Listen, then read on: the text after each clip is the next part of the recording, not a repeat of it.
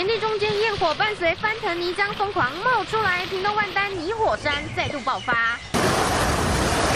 泥水波波波不断冒出来，点火后仿佛火焰喷泉，烈火冲两层楼高。从六号晚间十一点开始狂冒泥泡，两片田地、四个坑洞一起喷发。哎，呦的妹，因为不太敢走过去呢，前面还是温度很高哎。我搬去到左营，伫左营关搁徛来，啊，搁有好家子搁看好着。现在电池咧播，我是讲可能大。对吧？哦，来等咧变。啊，点位哦，伊伊这泥火山哦，会较紧火起啊咧。引发这个时的水电嘛。泥火山频频爆发，今年已经是第二次，让田地盐分高，不好种植，地主也很无奈。做咧做。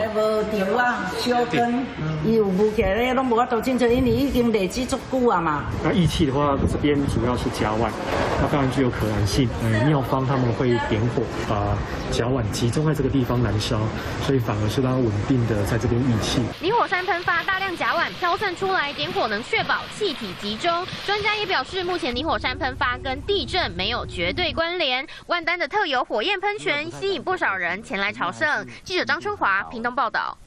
我是哈远怡，我用说故事写自己的人生故事。有争议的拿证据说，被掩盖的挖出来说，非主流观点我有勇气说。